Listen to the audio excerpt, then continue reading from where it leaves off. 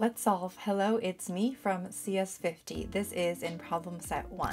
Okay, let's dive in. Let's go to the problem, Hello, It's Me. So here's the problem to solve. In a file called hello.c in a folder called me, implement a program in C that prompts the user for their name and then says hello to that user.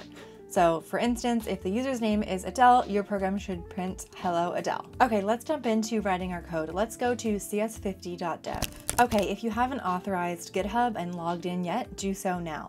Okay, so now we're in Visual Studio Code in the browser. You can also walk through this problem locally. That is, if you have Visual Studio Code downloaded locally on your computer, you can follow along there. Okay, so the first thing we're going to do is create a folder and we're going to call it me. And we're really just getting this from the instructions. Next up, we are going to create our file called hello.c. So inside of me, we can say hello.c. And this file is where we'll be writing our code. Okay, so next up, we want to use the CS50 library. Now the CS50 library is a helper library and it has functions in it that we can use in our code. But in order to use those functions, we need to require that library or include that library into our file right here. So let's do that. Okay, so let's go to cs50.readthedocs and we want to look for the library that we want. So we want the CS50 library right here. So let's click on this. And we want the C one right now because we are going to be writing some C. And next up, let's just go down here where it says download the latest release. And from here, we can just hit source code. All right, so you should see this downloading. Okay, once this folder is open locally on your machine, you can go into SRC and we can basically just copy these two files and then we can put them into our folder me. If you're using VS Code or your text editor of choice locally, you can just put these uh, in your VS Code locally. And if you are using this code space here, we can really just drag these over and put them into our me folder. Okay, so now let's go back to our problem. So we see that we need to prompt the user for their name and then we need to say hello to that user using their name. Here is a quick demo of what the code once it's finished should look like. So we run make hello and then we run dot slash hello. And you might be wondering what this make is. Uh, the instructor does mention it in the course, but it's essentially a build tool. So when we run make hello, we are compiling our file. And then here we are running the file or executing the file when we say dot slash hello. And then we run the executable. So we get an executable file that we can execute. Okay, let's go back and actually start writing some code. First, we're going to include this library, which will give us access to things like the print function. And then we're going to include the CS50 library. Okay, cool. Next, let's work on creating our function. So we can say int main, and then next we are going to use the string data type that we get from the CS50 library. We'll say string, and then this is the data type. Now we need a name for our variable. So we'll say name, and then we'll say get string. So this is a CS50 function. Inside of getString, we are going to write out the prompt we want the user to see. So we'll say, what is your name? We'll also use a slash n, which adds a new line in the program. And we can't forget our curly bracket at the end. Okay, let's pause real quick and let's run this code and just see how it's working so far. So we're going to cd into me, or go into this folder, and then we're going to run make hello. Okay, now we can see when we say ls, we can now see we have this hello file that we can execute. So if we want to run our code, we're going to say dot slash hello. Okay, awesome. So we are getting this what is your name prompt. Uh, this is amazing.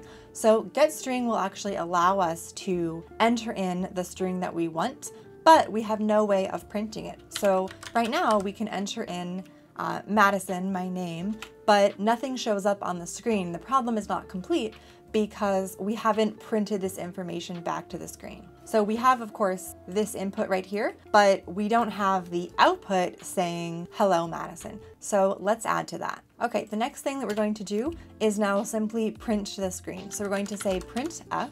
Now this is a function that we get access to by including this library here. And then we're going to use parentheses and we're going to say hello. And then we are going to add a S because we are printing a string.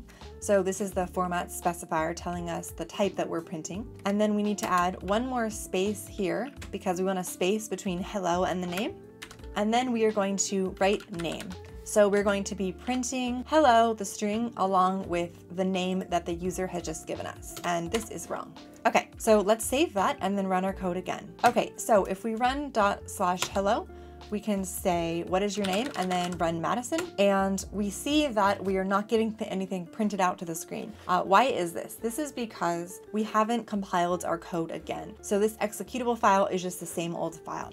So we need to run make hello.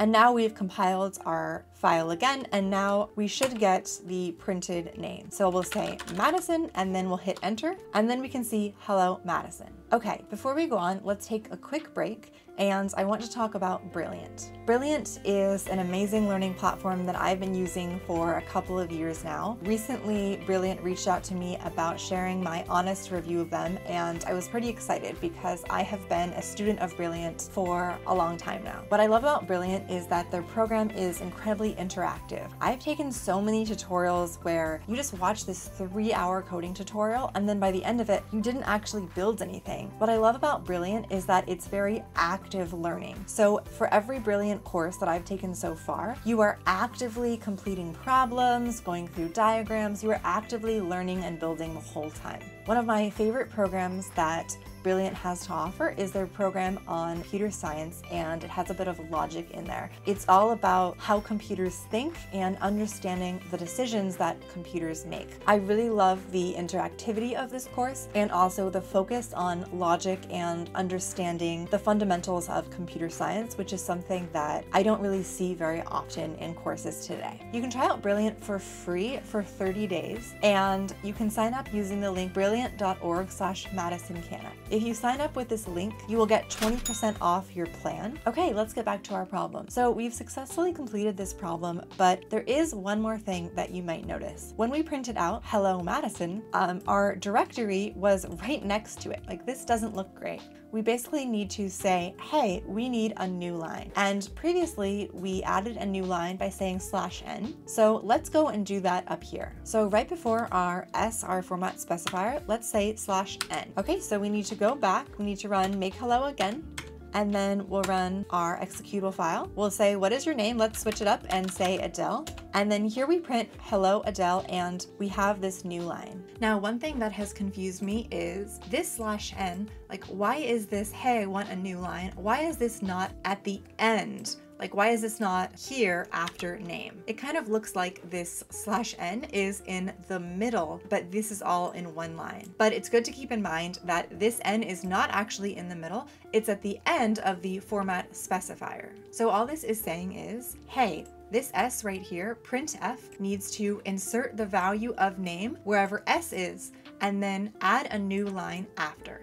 Okay, the last thing we're going to do is we're going to check this problem. So let's check this problem using checkcs50 and see if we did it correctly. The instructions for how to test a problem are here. So check50 is a tool for checking student code. So you can see if your code passes or fails by using this.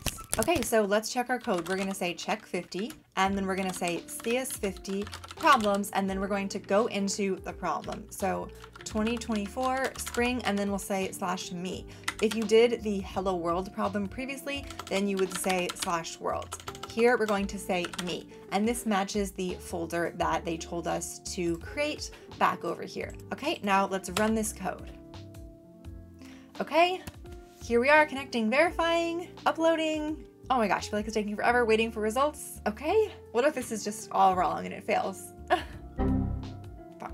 Did fail. Okay, this is not so bad. So we can see response to name Mario. We saw expected hello Mario, and we did not expect hello Mario slash n. So a problem here is just a quick little capitalization problem. So this is what we expected with the lowercase, and we got an uppercase problem. So let's change this real quick. Uh, we can hit save. We need to compile our program again.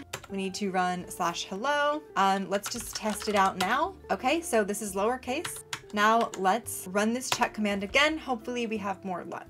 Waiting for results, waiting for results. Hello darkness, my old friend. I think we have an extra space here. Let's try that. Yes, we did it! Woo! Finally. All right. All right, now we have completed and successfully checked the problem. Perfect. Let me know what you thought about this video in the comments below. Thanks for watching.